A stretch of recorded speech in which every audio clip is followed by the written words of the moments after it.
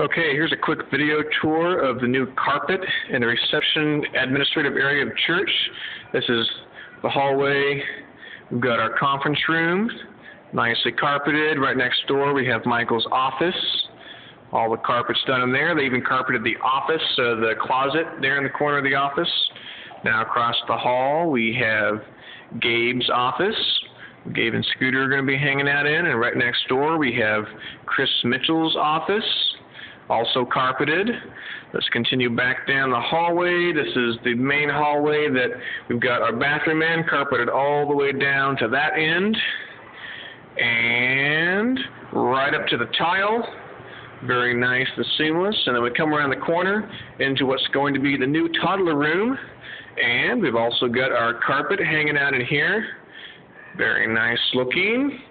And they even went all the way into our little diamond walkway area, which transitions into the infant nursery and the playroom, and even put down the carpet squares in the chicken room. So great job by Juan and his guys.